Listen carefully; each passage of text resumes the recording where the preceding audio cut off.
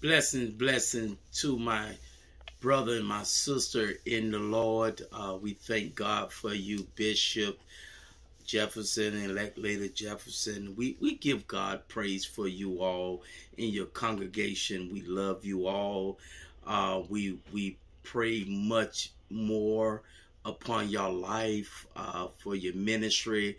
Uh, the 12th year uh, going forth in the body of Christ as as a whole, reaching souls and loving the sheeps and teaching and preaching and reaching.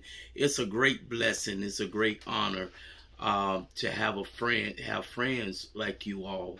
Um, I, I, give God praise. Uh, me and my wife, uh, Pastor Angela, um, we we just love y'all, and we wish more and more.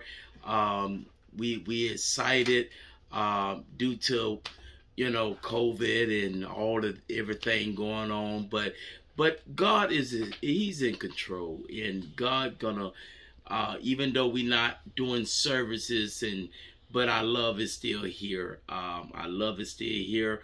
We know you all love is still here. Um, we speak much blessings upon y'all and pray that y'all enjoy your your time of celebration. of celebration and and we just we just give God the praise for you all.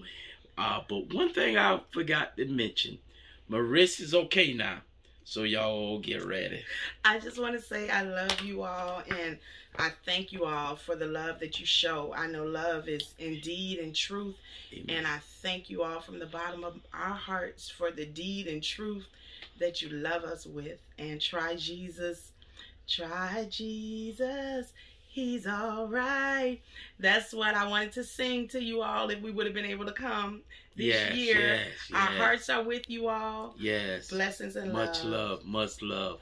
Signing out. We're going to do the bowling. love you all. Amen. God bless you all. Love you all.